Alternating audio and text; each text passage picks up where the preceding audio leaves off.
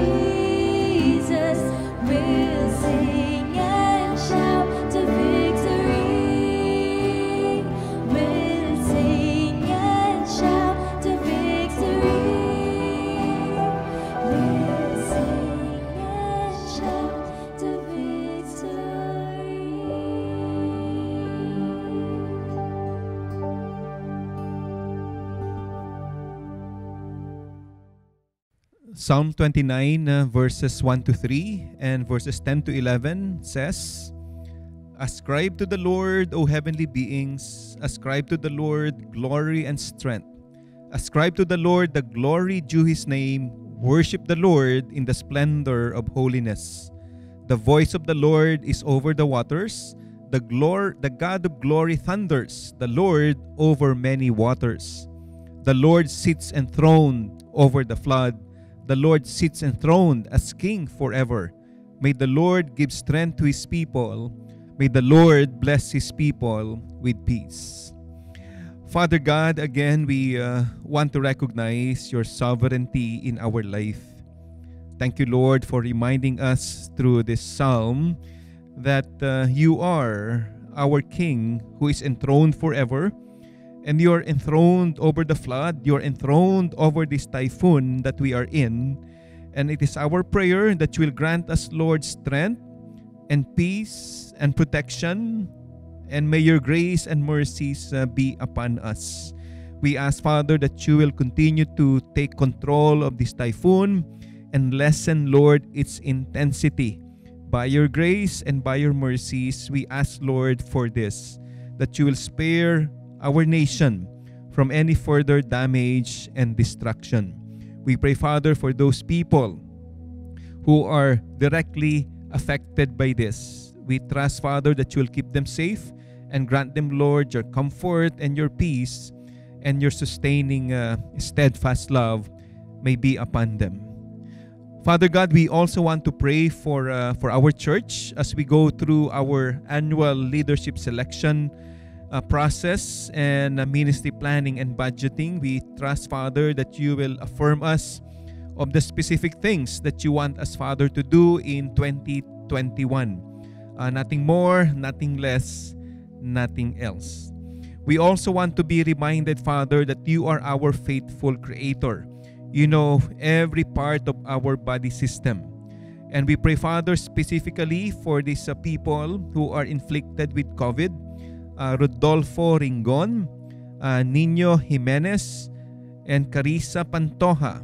And the others, Lord, who might be joining us for worship with the same virus. We trust, Father, that you will uh, touch their bodies, grant them, Lord, the physical strength that they need so that they will be able to resist the effects of this virus. And may you grant, Lord, your healing grace and mercies so that they will uh, be healed and restored to their usual physical state.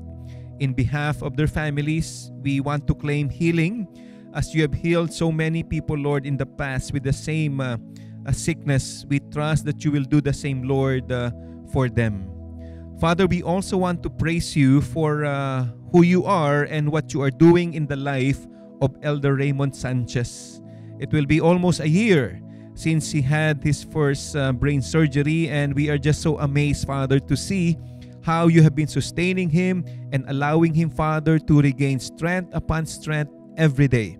And we as a church uh, pray for him once again that you will uh, allow him, Father, to receive your grace so that he will fully and completely recover very soon.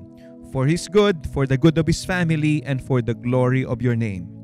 Right now, Father, we want to pray for Pastor Don. As you have anointed him, Father, this morning, we trust that you will again empower him with your Holy Spirit.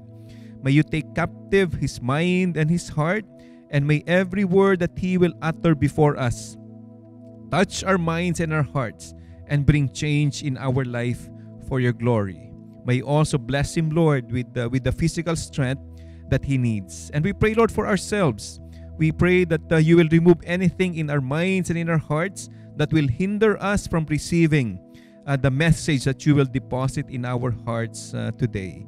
May you bring joy and gladness in our hearts as we have this privilege of worshiping you, our holy and sovereign God.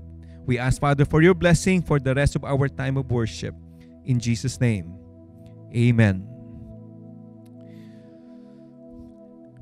I uh, I have a an announcement for uh, the members of GCF uh, South Metro family. A couple of weeks ago, I announced that uh, we are going through our annual leadership selection process, and uh, if you are part of a growth group, uh, we have distributed. We usually distribute yung bulletin natin every Sunday, and in that, I we we printed what we have disseminated a couple of weeks ago uh, regarding this process of leadership selection. So I will really appreciate if you will continue to join us in praying uh, for God to affirm uh, the the leaders that He has appointed uh, to be with us uh, in 2021. In uh, 2 Corinthians uh, chapter 9, uh, Paul commended the believers for their readiness and willingness to support his ministry.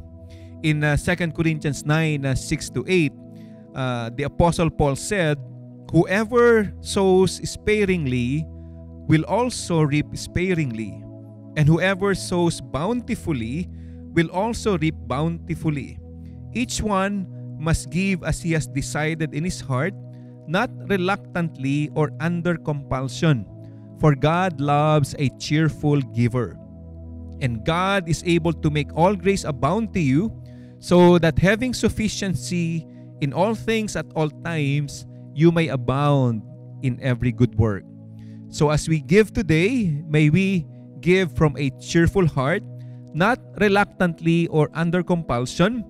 And when we give with such attitude, God's grace will abound and will make us sufficient in all things at all times so we can abound in every good work.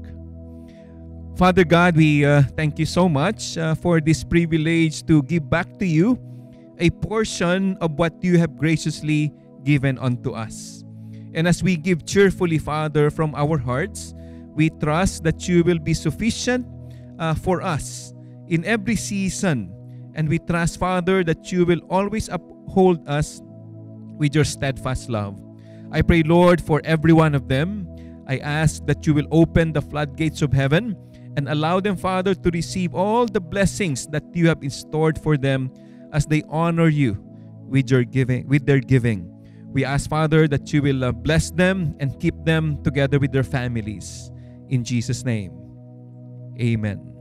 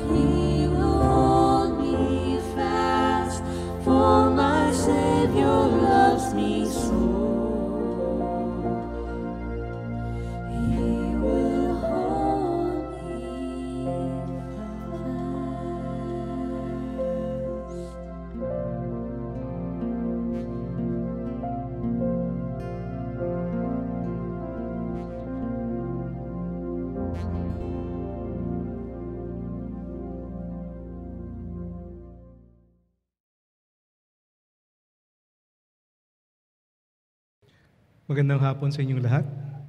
Siguro nung nabalitaan natin na magkakaroon o may paparating na bagyo, super typhoon, signal number 4, signal number 5, bigla tayong nagulantang. Dahil hindi alam natin kung gaano kalakas ang signal number 4 pa lang nung tumama ang Yolanda many, many years ago.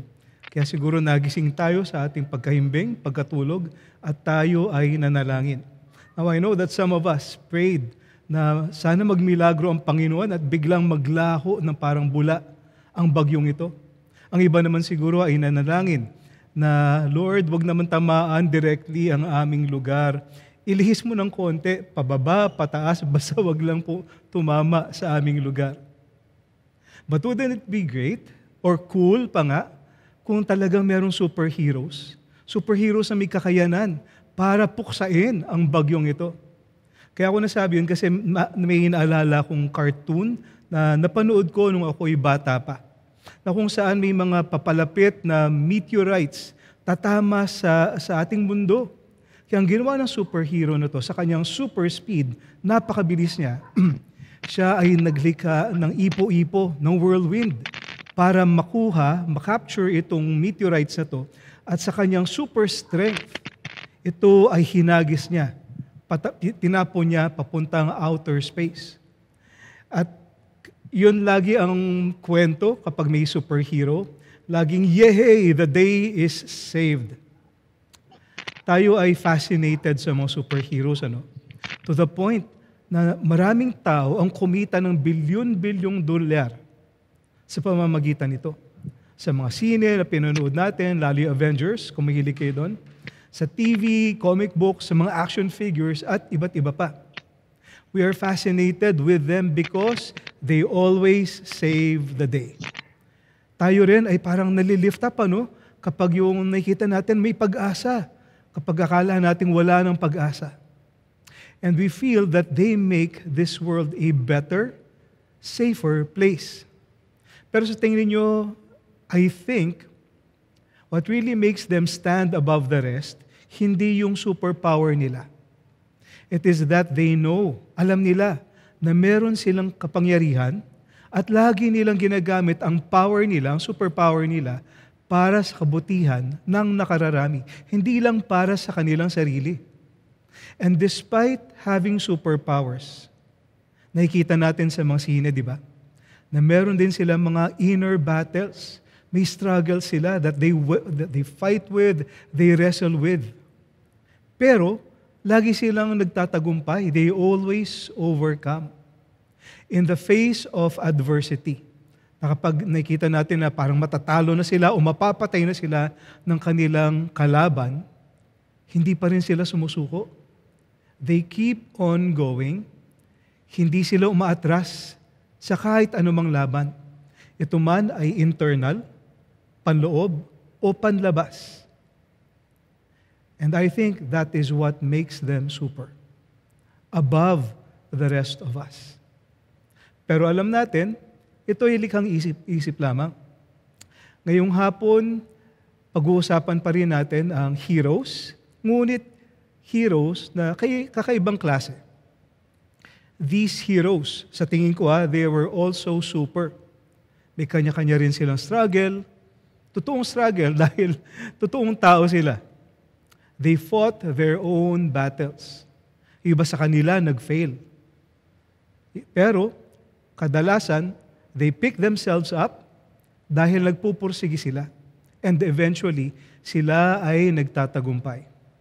Now, wala silang kapangyarihan sa kanilang sarili. Pero alam nila, kilala nila ang napaka mapangya, ang makapangyarihang Diyos na tumawag sa kanila, siya ang magtatapos ng mga battles para sa kanila. Siya ang, ang magpapadisappear, magta, magtatanggal ng mga storm clouds na bumabalot sa kanilang buhay. The God who had called them, the all-powerful God who called them, is able to save the day. We are not different from these heroes. At pareho ang Diyos na kinikilala nila at kinikilala natin. Ang pinaglilingkuran nila at pinaglilingkuran natin.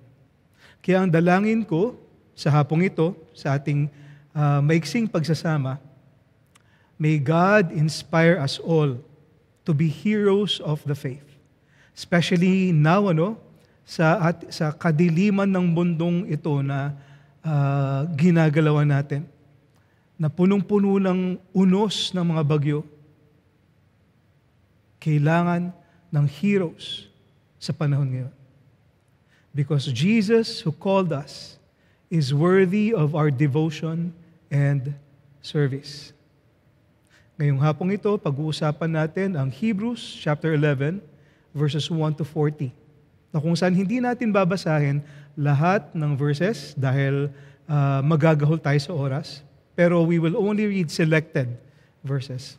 And the title of this message is The Hall of Faith. Samahan niyo ako manalangin.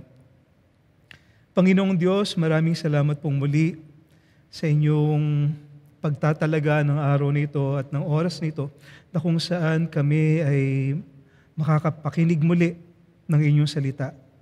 Nawa Panginoon,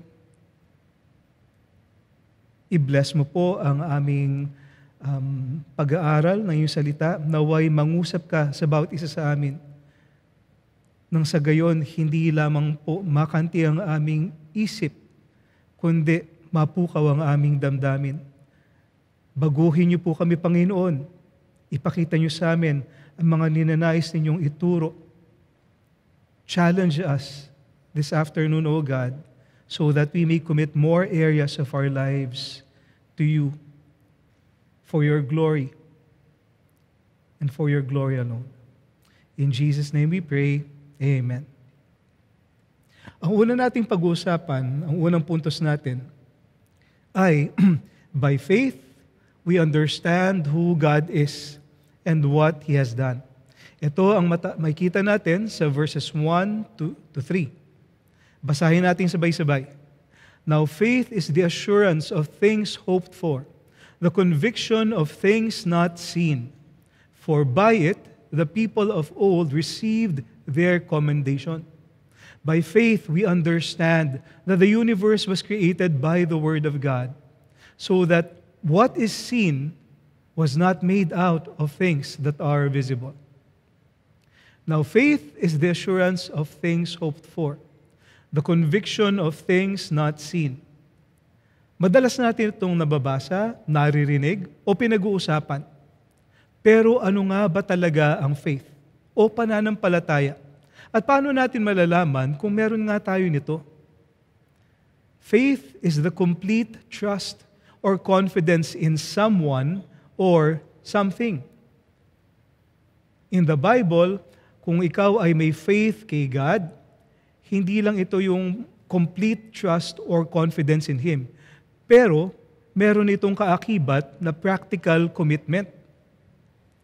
Itong klase na, na merong involvement ng trusting God or trusting in God in His faithfulness, relying on God's character and faithfulness to act. Na kung meron siyang sinabi, meron siyang pinangako na gagawin niya, yon ay kanyang tutuparin. If He says something, He will do it. It is only when we know God's will that we can believe it. So para magkaroon tayo ng faith, kailangan nating marinig at mabasa ang mga pangako ng Diyos. Sa Romans 10:17 sinasabi dito, So faith comes from hearing, and hearing through the word of Christ. Ang faith, ang pananampalataya, ay manggagaling sa pakikinig at pakikinig mula sa salita ni Kristo. Kaya kapag nahayag, tinuturo ang salita ng Diyos, kapag ito'y binabasa natin, ang Holy Spirit ang siyang nagbibigay ng kaliwanagan sa kung ano sinasabi ng Diyos sa kanyang salita. Siya ang nagbibigay ng, ng kapasidad sa atin para maintindihan natin kung sino talaga ang Diyos at kung paano siya kumilos, kung paano siya gumalaw. Beyond the information that we read and hear. So hindi lang ito karagdag, karagdagang kaalaman. Ito ay, ay ang pagkaintindi, pagproseso ng kaalamang yun. Na nagkakaroon tayo ng aha moments when we understand from the illumination or the enlightenment of the Holy Spirit.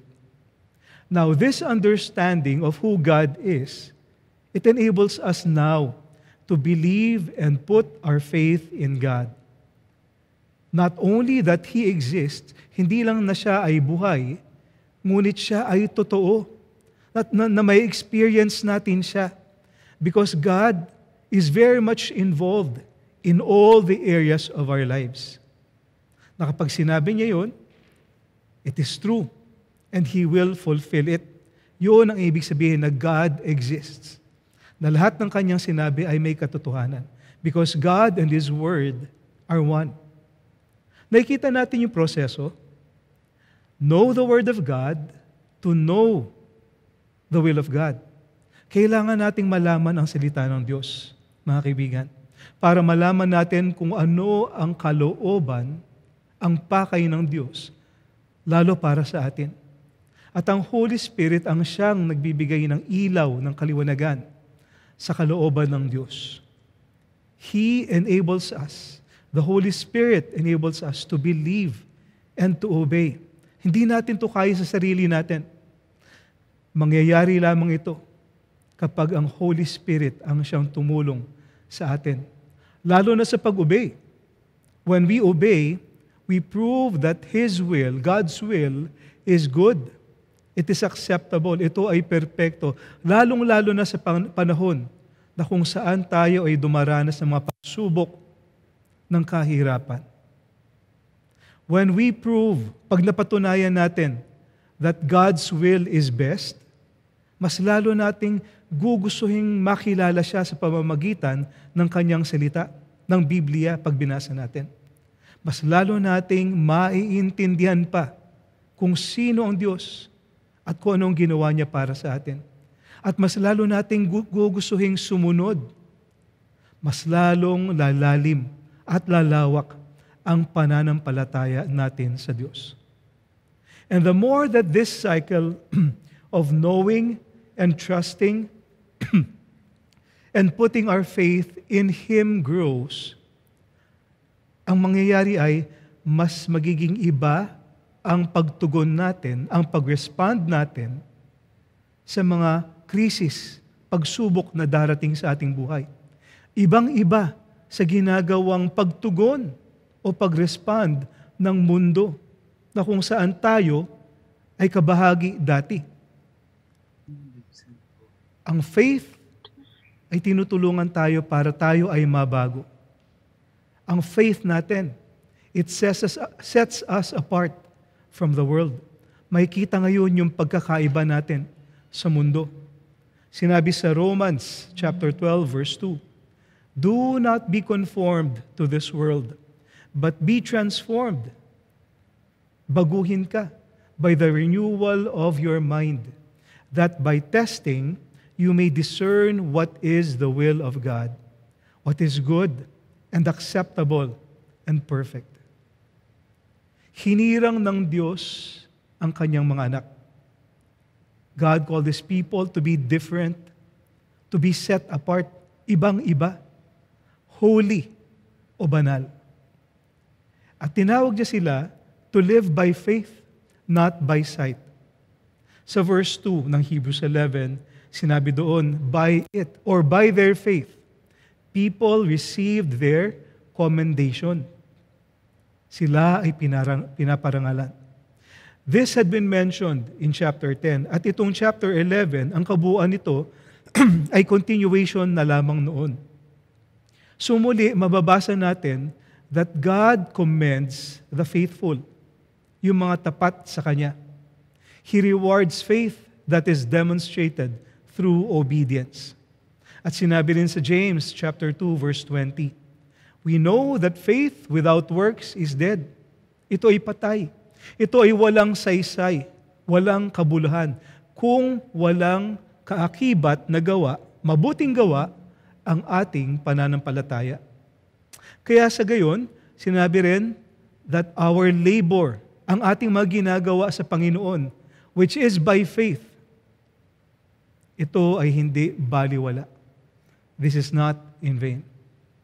And in verse 3, by faith muli, we understand that the universe was created by the Word of God. Na-imagine yun? Sa pamamagitan ng pananampalataya na pinagkakaloob sa atin ng Diyos, naiintindihan natin ng ganap ng lubusan na ang lahat ng nakikita natin, hindi lang dito sa lupa, kundi sa buong universe, ay nilikha ng Diyos sa pamamagitan ng kanyang salita lamang. God gives us the faith not just to know, but also to understand. Now, ano sinasabi ng verse nito sa atin? Na ang Diyos ang siyang may likha ng lahat. He is the creator of all things. He is the beginning of all things. Ganon ka, makapangyarihan ang salita ng Diyos na sa pamamagitan nito, hindi lang ang mundo na nakita at kinikilusan natin ang siyang nalikha, kundi ang buong universe. At ang lahat ng physical laws, the laws of natures, nature rather, were, cre- were formed from creation.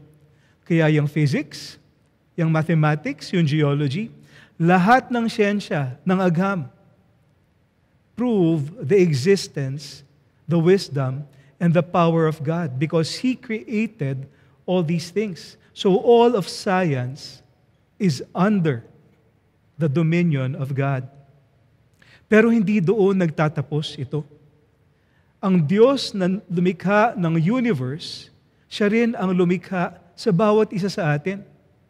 At tinakda niya na tayo ay mabuhay sa panahong ito dito sa lugar na to, sa Pilipinas, o kung nasa amang um, lugar ka sa mundo, He orchestrates the circumstances in our lives so that we would know Him. Kung saan tayo linagay ng Panginoon, ang desire niya ay makilala natin siya, ma-experience natin siya, at makarelate tayo sa Kanya. And if you are a child of God, kung ikaw ay na kay Kristo na, this should give you rest in your spirit. Makaka-experience ka ng kapahingahan sa iyong puso, sa iyong isipan, sa iyong spirito. Anuman ang iyong circumstances. Anuman ang mga pagsubok na pinagdadaanan mo ngayon. Anuman ang mga bagyo na dinaranas mo. Dahil alam mo, everything will be all right because the all-powerful God who created the universe cares for you. God loves you. God is concerned for you. At siya, He is still seated on His throne. Hindi hindi siya pwedeng maalis sa trono niya because no one could compare to His power. He is seated on His throne and He is in control. Kaya makakaranas tayo ng kapahingahan sa presensya ng Panginoon. By faith, we understand who God is and what He has done. And that is why the people of old were able to follow and obey God. Dahil kilala ni God, nila si God intimately. Kaya sa ganun, ma- uh, they can put their trust, their confidence in God. Which brings us now to our second point. By faith, we respond to who God is and what He has done. Maraming verses ito, verses 4 to 16. Pero babasahin lang natin ang ilang selected verses. Beginning with verse 6. Sinabi dito, And without faith it is impossible to please Him. For whoever would draw near to God must believe that He exists and that He rewards those who seek Him. In verses 4 to 16, may kita natin ng listahan ng mga heroes of the faith. Sa pamamagitan ng kanilang pananampalataya, sila ay sumunod sa Diyos at kinalugdan sila ng Diyos dahil sa kanilang pananampalataya. Isa na rito si Abel na nag-alay ng kanyang offering na katanggap-tanggap sa Diyos That's why he is commended as righteous. Siya ay matuwid. And God commended him by accepting his gifts. Nandyan din si Enoch na kung saan hindi niya nakita ang kamatayan, hindi niya ito na-experience. He was commended as having pleased God. Nalugod sa kanya ang Diyos dahil sa kanyang buhay at sa kanyang pananampalataya. Now, pag-usapan natin sandali si Enoch. No? Um, dahil sinabi dito that because of Enoch's faith, he pleased God. Kaya mahalaga nating malaman. Kahit maiksi lamang ang account niya sa Genesis 5, maram, may, maku, may mapupulutan pa rin tayo dito. Sinabi sa Genesis 5, When Enoch had lived 65 years, he fathered Methuselah. Enoch walked with God after he fathered Methuselah 300 years and had other sons and daughters. Thus, all the days of Enoch were 365 years. Enoch walked with God, and he was not, for God took him. Sa ibang versions, ang phrasing nito ay ganito. Enoch walked with God faithfully, and he was no more. Meaning, naglaho na lang, nawala na lang si, si Enoch sa mundong ito. Bakit? Dahil kinuha siya, kinuha siya ni Lord. Hindi siya nakaranas ng physical death. God simply brought him home to heaven because God was pleased with him. Na-imagine niyo ba kung anong klaseng tao at pagkatao ang meron si Enoch na kung saan siya ay lumakad kasama ng Diyos at siya ay tapat na lumakad kasama ang Diyos for 300 years. Anong klase kaya ang buhay na ipinamuhay niya that God was so pleased with him? We do not know anything else other than he walked with God faithfully and that by faith he was commended as righteous and he pleased God. No, magpatuloy tayo sa listahang ito. Nandiyan si Noah na kung sa, kaya, sa kanyang takot sa Diyos, he constructed an ark. Si Abraham naman sumunod when he was called to go out to live in a land in the land of promise with his heirs. And he was looking forward to the city with foundations, na kung saan ang nagdisenyo at ang gumawa ay si God mismo. At si Sarah naman, nagkaroon siya ng kapangyarihan na magdalang tao because she considered faithful, tapat, He, ang Diyos na kung saan nagbigay ng pangakong ito sa kanya. At dahil doon, by faith again, to Abraham, many descendants were born. Now, iba't iba ang pagtugon nila sa Diyos base sa kanilang pananampalataya.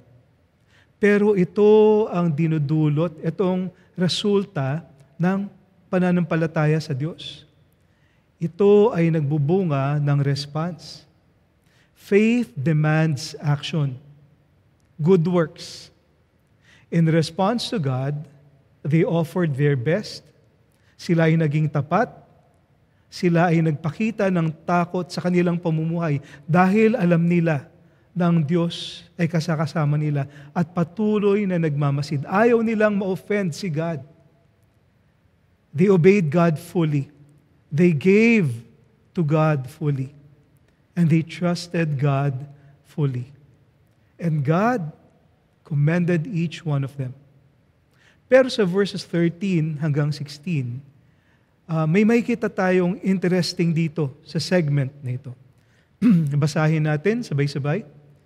These all died in faith, not having received the things promised, but having seen them and greeted them from afar, and having acknowledged that they were strangers and exiles on the earth. For people who speak thus make it clear that they are seeking a homeland.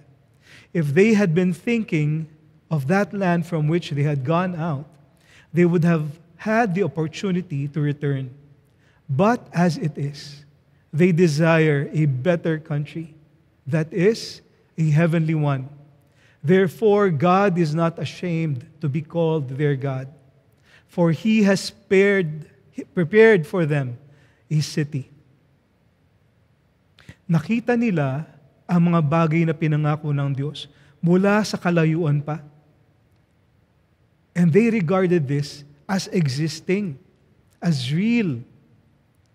And they believed they existed without any doubt. Walang pagdududa in their minds. Inisip nila, sinasabi nila sa kanilang puso, kung ito ang sinabi ng Diyos, maniniwala at magtitiwala ako. Yun ang mindset nila.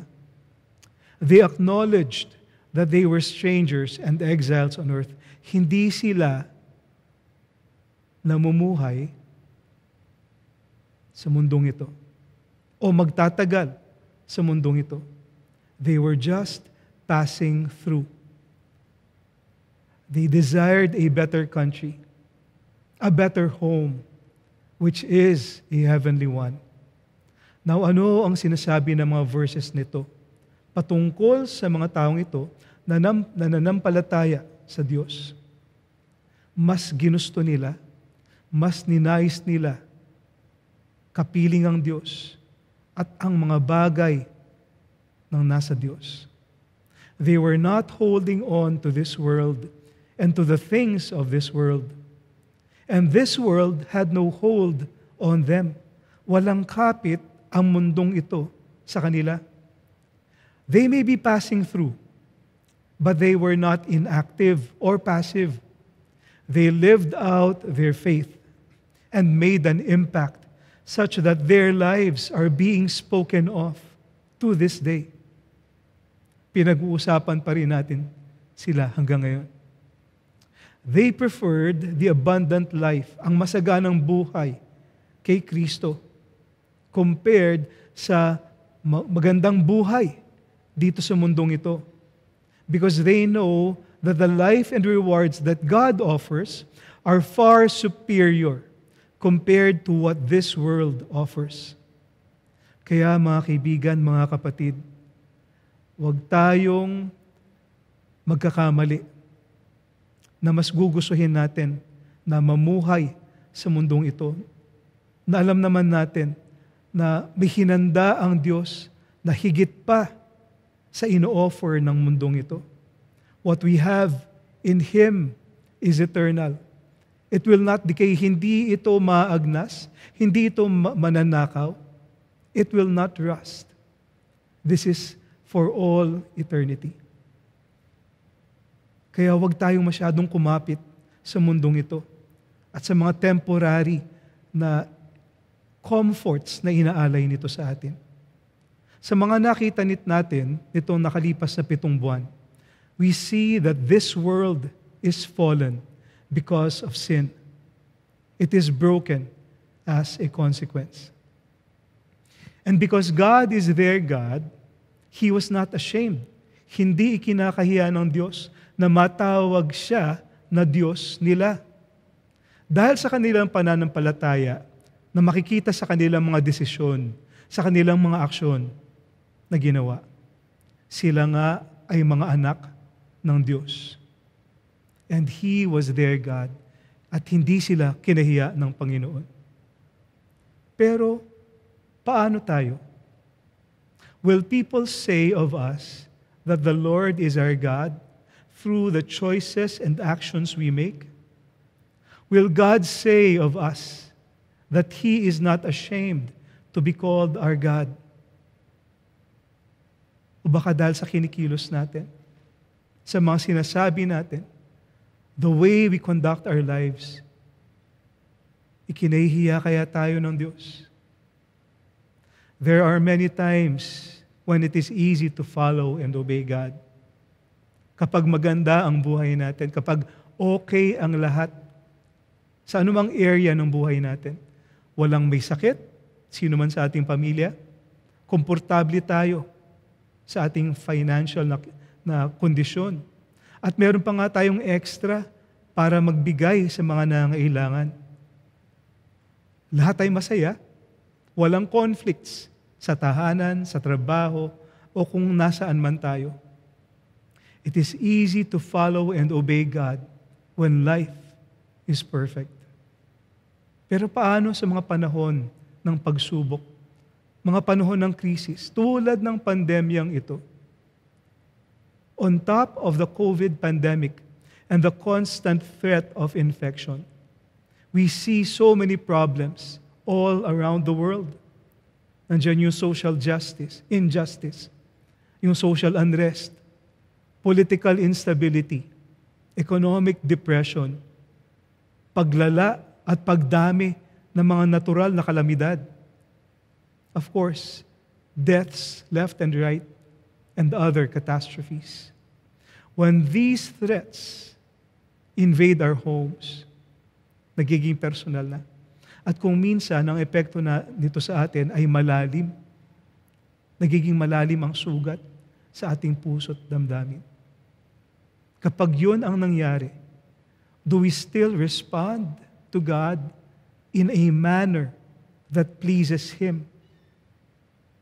Yung mga sinasabi natin, kinikilos natin, desisyon natin, nalulugod pa ba ang Panginoon? Narinig natin sa simula pa lang ng pandemic na ito na ang krisis, it reveals our true theology, ang tunay na pagkakilala natin sa Panginoon. Yung ba siguro sa atin naka-experience ng disappointment? Lalo nung sila ay nawalan ng trabaho o nawalan ng negosyo. Iba siguro sa atin na-depress dahil nahiwalay tayo sa mga mahal natin sa buhay. Dahil sa lockdown, hindi natin nagagawa yung gustong gustong gusto nating gawin. Iba siguro, nagkaroon ng maraming conflicts, lalo sa kanilang tahanan. Hindi tayo sanay na magkakasama ng ganito katagal, 24-7, ng ilang buwan na. So it's understandable. Kaya ganun na lamang, it is so easy to fall out of love with God and with others sa tuwing darating ang mga krisis sa ating buhay. Ang dalangin ko para sa ating lahat, kasama ako doon, na tayo ay maging katulad ni Enoch, na kung saan pipiliin natin na tayo ay magiging tapat sa Panginoon, walking with Him, Iko-commit natin sa bawat araw na sumunod sa Kanya. I-allow natin si God na mag-lead sa atin tulad ng tupa sa Kanyang pastol. And by faith, fully trusting, ever following, content in Him alone. Saan man niya tayo dalhin. This is the response that is worthy of God and that God will not be ashamed of. By faith, we respond to who God is and what He has done. Now, marami pa, no, ang nandito sa listahan na to ng Hall of Faith. Yung iba, kilala natin sila. Yung iba, hindi na pinangalanan. Pero, kahit hindi sila pinangalanan, they likewise persevered and served the Lord. And this brings us to our third point. By faith, we persevere and serve the Lord for who He is and what He has done. Mas mahaba itong listahan na ito ng heroes of the faith. But there is yet an interesting part, yung verses 39, 39 and 40, na kung saan ito ang sinasabi. And all these, though God commended through their faith, did not receive what was promised, since God had provided something better for us, that apart from us, they should not be made perfect. Sino-sino ito na kinomend ng Panginoon, pero hindi nila natanggap kung ano ang mga pinangako sa kanila. Sila si Isaac, si Jacob, si Joseph, ang mga magulang ni Moises, si Moises mismo, ang mga Israelita na tumuwid sa Red Sea. Sina Rahab, Gideon, Barak, Samson, Jephthah, David, Samuel, ang mga propeta, kalalakihan, kababaihan, na kung saan ang kanilang mga actions ng kanilang pananampalataya at pagsunod sa Diyos. They put us to shame. Dapat tayong mahiya sa mga ginawa nila sa kanilang mga buhay. Some were tortured. Some refused to accept release so that they may rise again to a better life.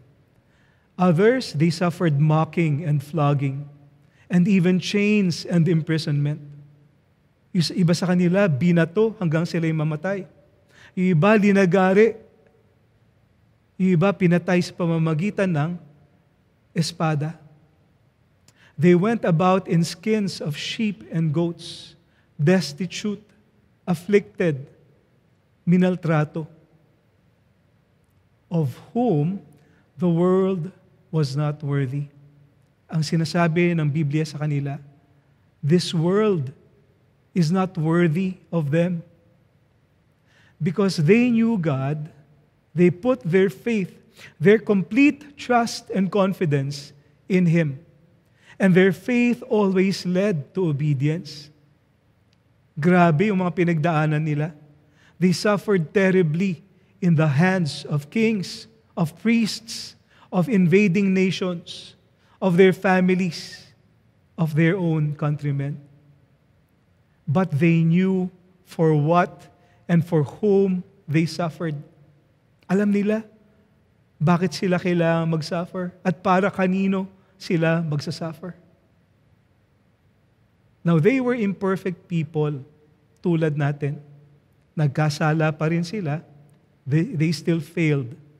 And the Bible shows us that. Pero, itong mga taong ito, they kept pressing on. They kept persevering. Nagpupunyagi sila patuloy. And it was not because of the commendations, hindi dahil sa mga rewards, hindi dahil sa mga pinangako sa kanila. They persevered. Nagpunyagi sila because God is worthy of their devotion and obedience. Their faith is based on God and on God alone. Alam nila na mabuti pa rin ang Diyos anuman ang pagsubok na kanilang tahakin. God alone is faithful. Siya ay tapat, maasahan, mapagkakatiwalaan. Hindi siya tulad ng isang tao na magsisinungaling. Hindi yun ang nature ni God. And God will never go against His nature. We know that if God has said it, He will do it. Ang Diyos mismo ang nagbigay ng courage sa mga taong ito. Siya ang nagbigay ng wisdom, ng kapayapaan. Siya yung nag-encourage sa kanila kapag depressed na sila, na wala na silang pag-asang nakikita o lunas na madarama. God's presence went with them and ahead of them. At napakarami yung bagay pa ang ginawa ng Diyos para patunayan na siya ay tapat, siya ay dakila, siya ay mabuti, at siya ay mapagmahal. They were able to suffer long because they knew they could trust God to sustain and deliver them. Ang Diyos na to, He is the same God who called us. He is the same God who saved us. He is the same God who keeps on saving us whenever we fail, whenever we stumble and fall. He is the same God who is worth persevering for, losing one's life for. Sinabi sa Psalm 31, verses 23 and 22. Love the Lord, all you his saints.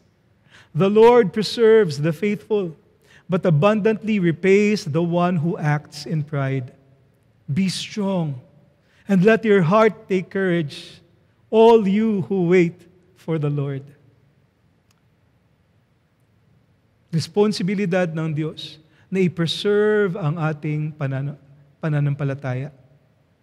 Pero, responsibilidad natin na tayo ay mag-persevere sa ating pananampalataya. Alam natin itong ilustrasyon na ito. To have faith in God is like getting inside the car where God is the driver. Alam niya kung saan yung destination, kung ano yung mga direksyon para makapunta doon, kung saan ang mga dapat o tamang tigilan, kung ano ang mga pangangailangan ng kanyang mga pasahero, kung ano ang mga kinakailangan para maging successful ang journey. That is how we completely trust God and put our confidence in Him. Pero to remain seated inside the car as a compliant, trusting passenger, yung hindi nagrereklamo, hindi nagmamaktol, hindi yung makulit na gusto nang umalis, yun ang pagiging faithful o tapat sa Panginoon. So if we know that God is faithful, if we know that God will take care of us, if we know that God loves us, if we know that God is worthy, then why do we not persevere? Bakit hindi tayo nagpapatuloy o nagpupunyagi?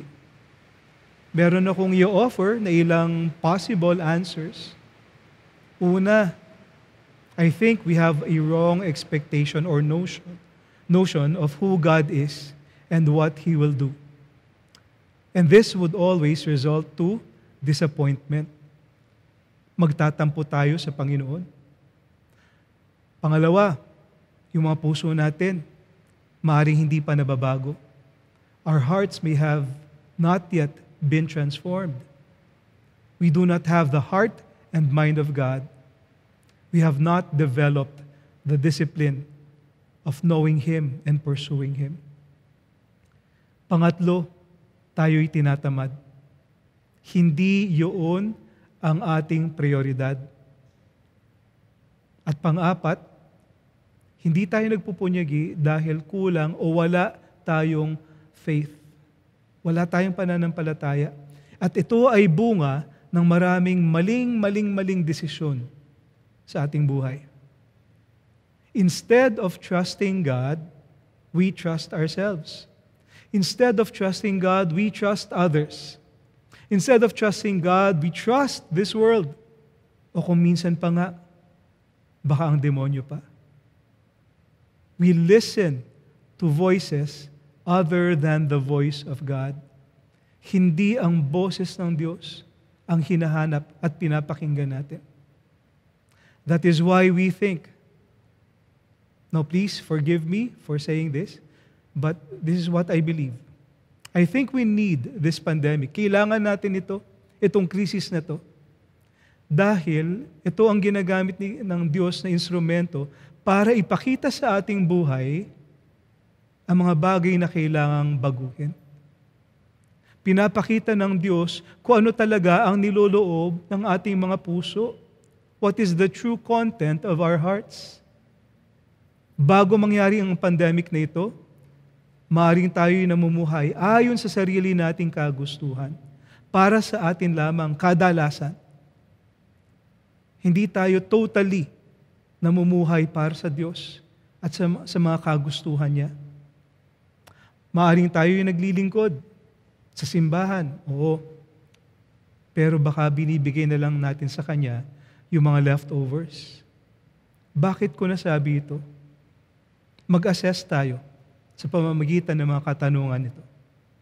Let's ask ourselves, kumusta yung quiet time natin? Yung daily quiet time natin? Kamusta yung prayer life natin? Gaano tayo kadalas nagbabahagi ng ebanghelyo ng Diyos? Ang mabuting salita. O nag, kahit man lang magpakita ng kabutihan sa ating kapwa. Tayo ba ay nananalangin para sa divine appointments? At tinutugunan ba natin ang mga divine appointments na pinagkakaloob ng Diyos?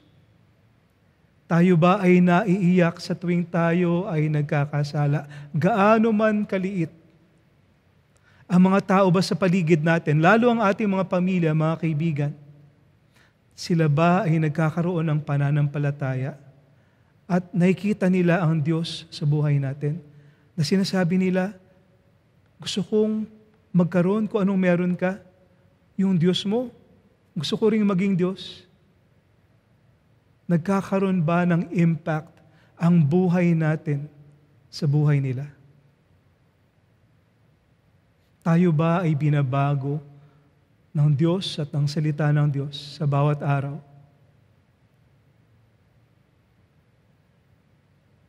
Kung ia-assess ng Diyos ang buhay natin ngayon, o sa, sa oras na to mismo, Sasabihin ba niya na hindi niya kinahihiya na siya ang Diyos natin?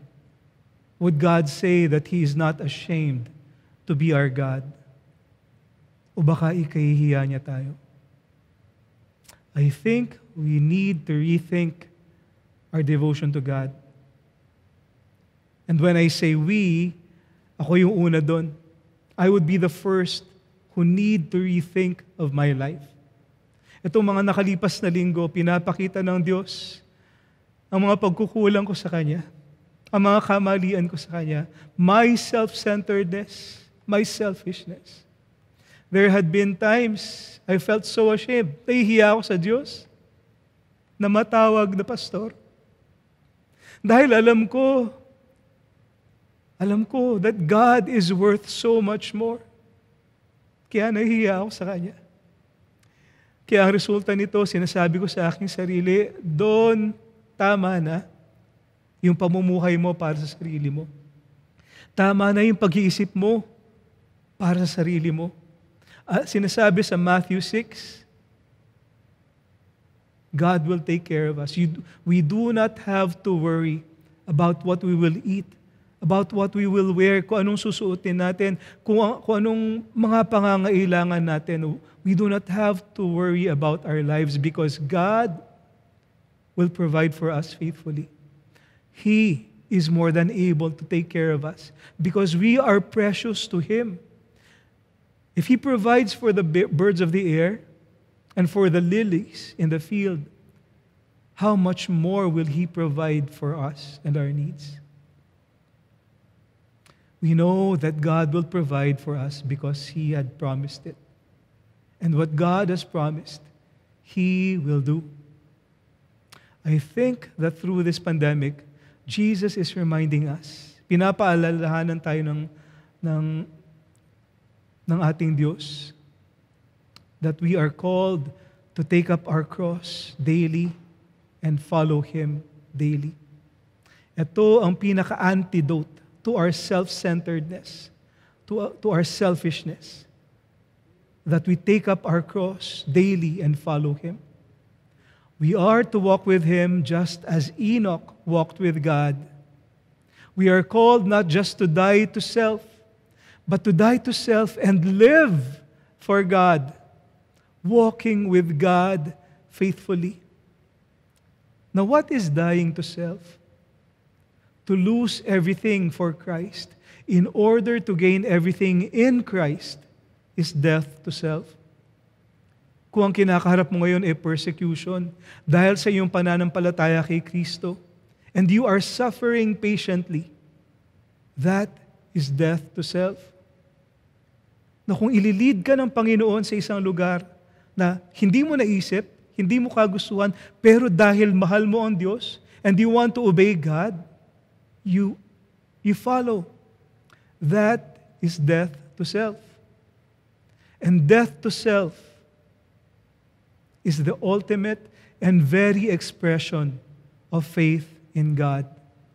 The self, yung pagiging makasarili natin, ay kailangang mamatay para kalugdan tayo ng Diyos. Mahal ba natin ang ating buhay? Ang magandang buhay?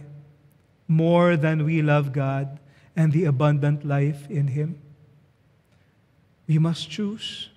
Pero kung sinasabi natin na mahal natin ang Diyos, isa lang, isa lang ang option, isa lang yung choice para sa atin. Pipila, pipiliin natin ang Diyos at ang masaganang buhay na nais niyang ipagkaloob sa atin. Now, itong mga taong ito sa chapter 11, hindi sila perfect, nagkasala, nagkamali, nagkulang pa rin sila. Sila ay tao pa rin, tulad natin. Pero sila ay nagpupunyagi. They would always choose to follow God by faith. And that is why this world is not worthy of them. They lived their lives set apart from the world. They chose to die to self than live for the pleasures of this world. Now, what is the Lord calling you to die to? Maybe the Lord is calling you to ask forgiveness from a person who has offended you. Yes, ikaw yung offended party, pero maaari nangungusap sa iyo ang Panginoon na humingi ka ng tawad sa taong ito na naka-offend sa iyo. Kahit ikaw yung tama, that is death to self. O kaya china-challenge ka ng Panginoon ngayon na that you leave your, yung comforts mo, yung comfort zone mo. Like for example, sa isang sa growth group mo, komportable ka doon, na nakikinig, nakikitawa, nakikifellowship, maybe the Lord is challenging you. Magsimula ka ng bagong growth group sa pamilya mo, sa mga kakilala mo, na hindi pa nakakakilala kay Jesus. That is death to self. O kaya, maybe the Lord is nudging your heart to reach out to your friends from long ago. Hindi mo iniisip kung anong sasabihin nila o isipin nila sa iyo o kung i-reject ka man nila dahil mas mahal mo ang Diyos kaysa mahal mo ang iyong sarili at tingin ng ibang tao sa iyo. That is death to self. Or maybe God is calling you to step up to become a spiritual leader in your marketplace, in your office, or even in your campus. O dito sa GCF South Metro, narinig natin yung panawagan kanina. Kung tinatawag ka ng Diyos, then die to yourself. Or maybe tinatawag ka ng Diyos sa mission field. That is death to self if you act upon it. Many acts of obedience may not be so grand. For me, to stand here in front of you delivering God's message is death to self. What is God calling you to die to? How can you please God by faith? Not because of the commendation, but because it is your response to who God is and what He has done. I'd like for us to listen, makinig tayo sa ilang kaibigan, na kung saan dahil sa kanilang pananampalataya, naintindihan nila kung gaano sila kamahal ng Diyos at kung ano ang ginawa ng Diyos para sa kanila. So that by faith they are serving God and persevering in their walk with Him. Panoorin natin ang video nito.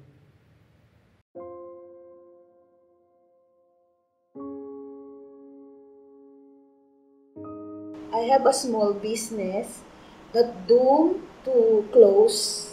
Many of my coworkers only depend on it and my family as well. After being widowed for 10 months now at naiwanan po ng dalawang anak, uh, sobrang hirap po. Even remember, in the middle of the night, umiiyak po ako. And yung panahon na yon ay nandun po ako lumuluhod sa Panginoon at may mga katanungan bakit nangyari yung mga ganitong pagsubok. Mahirap sa isang pamilya na mawala ng trabaho ang aming asawa. So, napakahirap kasi nga po, uh, meron pa akong isang anak na nag-aaral. Nag-aalinlangan, nag-aalalago dahil saan kami kukuha ng aming uh, pagkain at ipaaral sa aking anak. After we received the results, both of our children, Renz and Angelo, are positive of X-linked adrenoleukodystrophy. This is a genetic rare disease kung saan um, nawawala yung abilities ng brain nila at nag, uh, nag, nagpatungo sa paralysis at eventually early death. My heart is full of weariness, sadness, because I don't know what future will bring. There's so many uncertainties. My my modest saving is vanishing away, so to speak. No income at all. And my co-workers are always asking, Mom, when do we resume our job? Questions that I cannot answer. Bilang pong father de pamilya, unang-una po ako talaga nag-alala, paano na po ang aking pamilya, paano na ang aking, ang aming, uh, paano na ang kakainin, ano na po yung uh, nangyayari. May 2020 po, in-advise po ako ni Dr. Grace na mag-undergo ng total hysterectomy. So, ibig sabihin, another problem. 10 months ago, hindi pa po ako naka-recover financially. Napakalaking ah, gastusin po yung hinarap ko nung nawala po yung aking asawa. October 8, 2018, uh, Renz finally uh, went home with our Lord in heaven. Despite sa physical sufferings ni Renz, we also had a lot of divine appointments despite um, lalo na sa PGH nang ma-confine siya ng almost one month. We witnessed how God displayed His power. We got to share a story of how God is so gracious and good to us. There were a lot of people we prayed for, we ministered for, and most of them accepted Jesus Christ as Lord and Savior because of our story of what of what God has been done to us. Napakaganda na nasa Panginoon dahil kahit mahirap ang buhay, meron po, meron po, meron kaming pag-asa. Meron akong Panginoon na tumutulong, tutulong sa amin kahit nasa ganitong panahon ng kahirapan, pagsubok.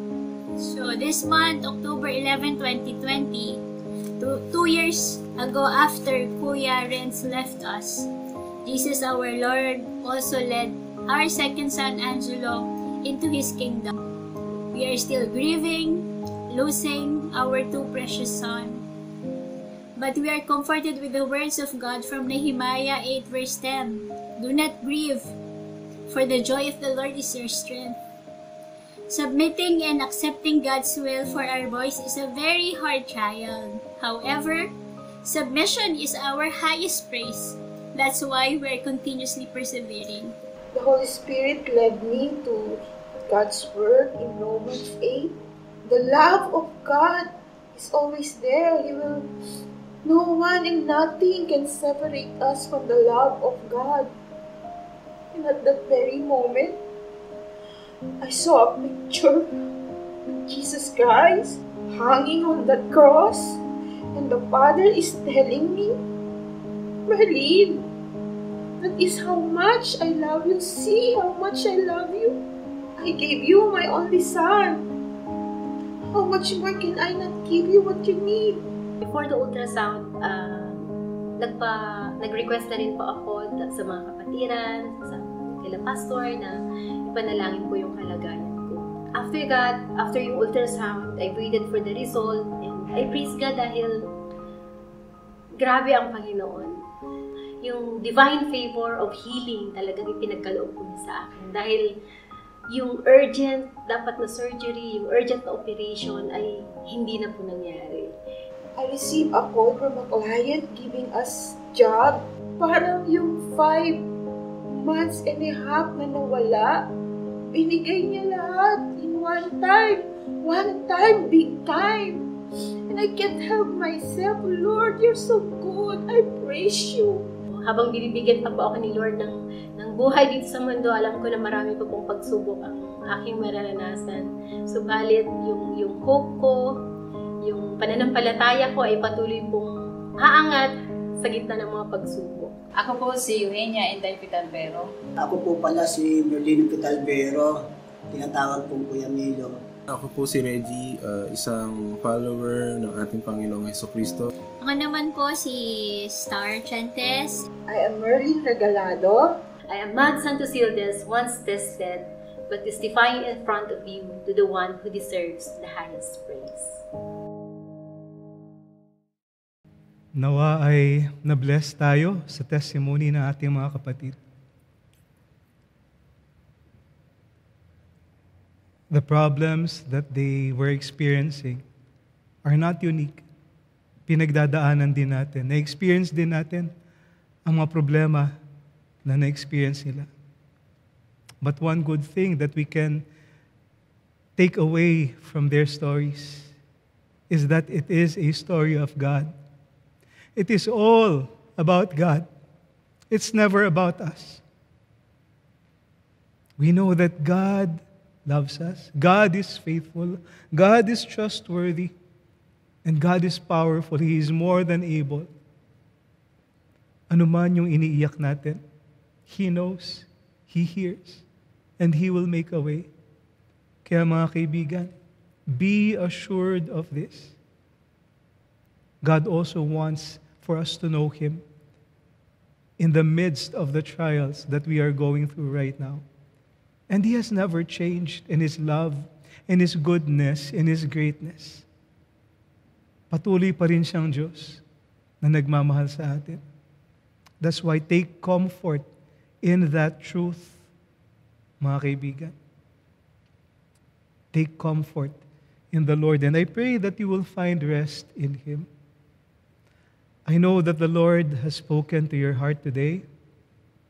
And as you continue to listen to His voice, to receive His message, kung meron man siyang ilinagay sa puso mo na hinihingan ka niya ng commitment, I pray that you would respond to who God is and what He has done for you. May this song help you in sealing that commitment. May we all choose to die to self in order to live for Christ and to serve others and bring glory to His name.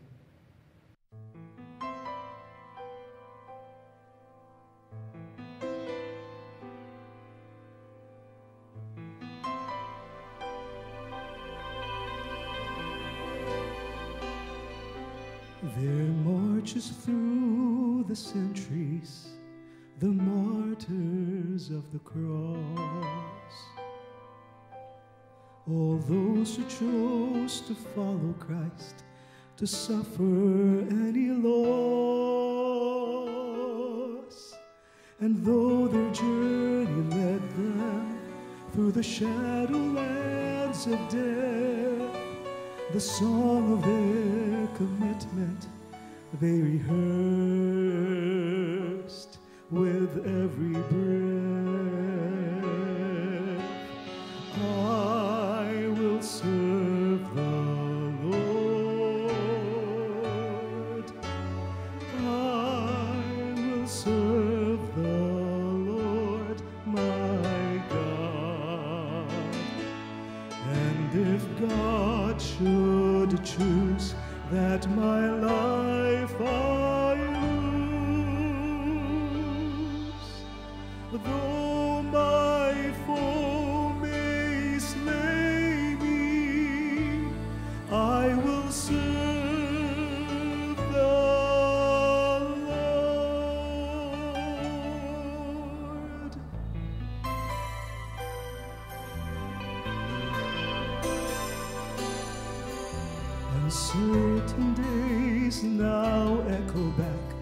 That strong and urgent strain.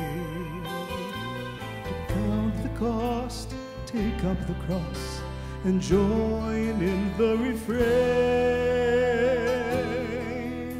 And should our journey lead us through the shadow lands of death, May this be our heart's resolve as long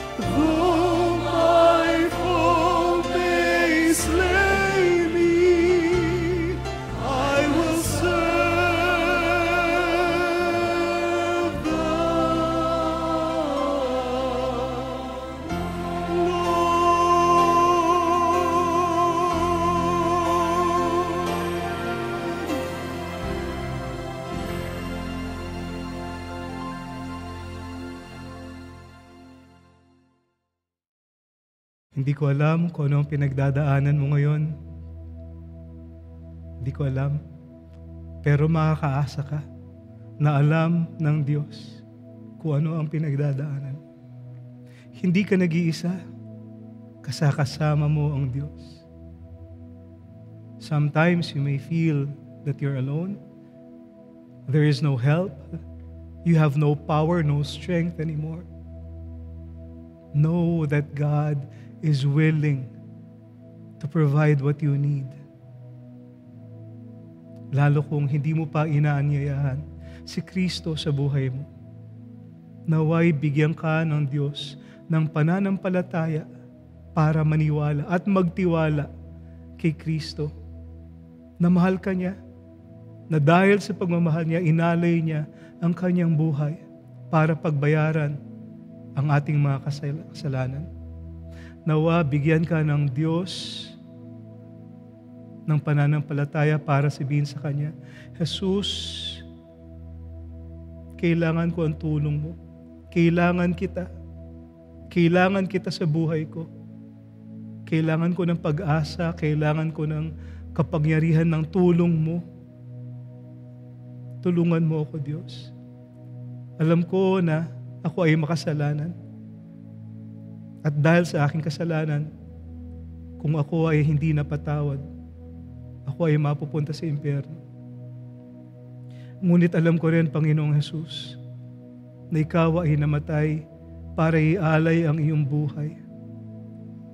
Para kung sino man ang manampalataya sa iyo, na ikaw ang tagapagligtas na isinugo ng Diyos. Kung sino man ang manampalataya, hindi siya mapapahamak kung hindi magkakaroon siya ng buhay na walang hanggan. Naway bigyan ka ng Diyos ng pananampalataya para maniwala na inaabot ni Jesus ang puso mo ngayon. Siya ay kumakatok sa puso ng iyong buhay ngayon. At nawa ay buksan mo ang iyong sarili sa Kanya. Surrender your life to God and invite Him to come into your life as your Lord and Savior. That He will change you to be the person that He wants you to be. If you desire to be changed, kung nais mong makilala si Kristo at maging katulad niya, may the Lord give you that faith. At sa, sa iyo, kapatid, maaring marami kang pinagdadaanan ngayon. Patong-patong na pagsubok. Be reminded. May God remind you that He is your help. He is a prayer away. He's waiting for you. Lalo kung ikaw ay lumayo sa Kanya, God is calling you to return to Him so that you may enjoy the fellowship that He has in store for you, so that you would know the blessing of being His child once again. In closing, let us read Hebrews 10 33 to 35. Therefore, do not throw away your confidence, which has a great reward, for you have need of endurance, so that when you have done the will of God, you may receive what is promised. For yet a little while, and the coming one will come and will not delay. But my righteous one shall live by faith. And if he shrinks back, my soul has no pleasure in him. But we are not of those who shrink back and are destroyed, but of those who have faith and preserve their souls. Tayo'y manalangin. Dakilang Diyos, aming Panginoon, aming mapagmahal na Ama. Maraming salamat po sa patuloy ninyong pag- pagbibigay ng pagkaunawa sa amin that we might understand who you are and what you have done for us. It is such a great thing, Lord God, that you offered your life for us. You who are perfect, blameless, sinless, You offered your life, Jesus, to pay for our sins, and we are grateful to you. It is a debt that we can never, ever repay. Nawa, Panginoon, ang aming pag-aalay ng aming buhay, na kami po ay matagpuan ninyong tapat, lumalakad, kasabay, sumusunod sa inyo. May you find us faithful, Lord, in doing no less than that because we know that that is how we can show you our gratitude. That is how we can show you that we love you by putting our trust, our full confidence in you. That by faith, we will follow you, Lord God, wherever you lead us. And by faith, we commit ourselves afresh to you for the glory of your name. Help us, Lord God, to exercise our faith every day. And if we lack faith, then may we desire to know you more, to read your word more, to meditate on it more, even to memorize it. And more importantly, Lord God, to apply it through acts of obedience. Kaya Panginoon, tulungan niyo po kami. May you be glorified in our lives as we commit ourselves to you. Now, to Him who is able to keep you from stumbling and to present you blameless before the presence of His glory with great joy, to the only God, our Savior, through Jesus Christ our Lord, be glory, majesty, dominion, and authority before all time and now and forever. Amen and amen.